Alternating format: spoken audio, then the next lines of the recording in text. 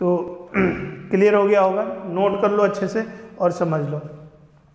कहता है five degree Celsius rise in temperature observer in conductor passing through a current चलो, एक conductor है this is the conductor obviously real life में जब कभी भी हम कंडक्टर को करंट देते हैं तो कंडक्टर का टेम्परेचर जो है वो बढ़ जाता है। तो ये प्लस माइनस वी वोल्ट की बैटरी है, इसका टेम्परेचर बढ़ जाएगा five degree Celsius delta T temperature change five degree Celsius ठीक है? In conductor passing through the current I अगर मैं इसे आई करंट पास कराता हूँ तो टेम्परेचर बढ़ जाता है। When the current is double अब केस टू में इफ़ कंडीशन लगा दो इफ़ करंट डबल हो जाए टू आई टू आई हो जाएगा। Current is two I then temperature rise approximately temperature approximately कितना राइज होगा? तो अब देखो एक इक्वेशन है, पढ़े हुए।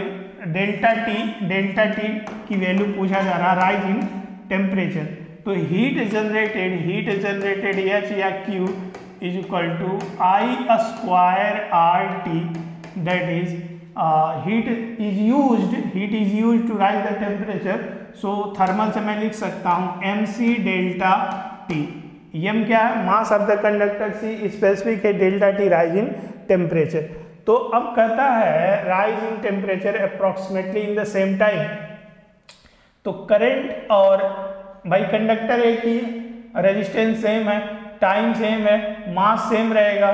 तो current is directly proportional to rise in temperature यहाँ से मैं इसको कैलकुलेट कर सकता हूँ। Rise in the current double the rise in temperature यहाँ सेम टाइम होगा। सेम टाइम उसी टाइम में पूछा जा रहा है ठीक है?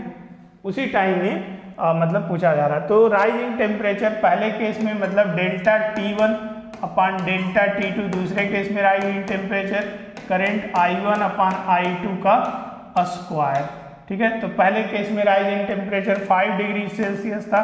दूसरे केस में डेल्टा टू हमें निकालना है। पहले केस में करंट आई था दूसरे करंट में करंट टू आई हो गया।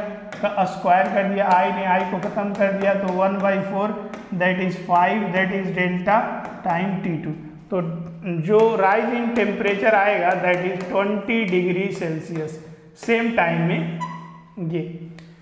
उसी टाइम में that is twenty degree Celsius A option सही है. The time is given same ठीक है? चलो.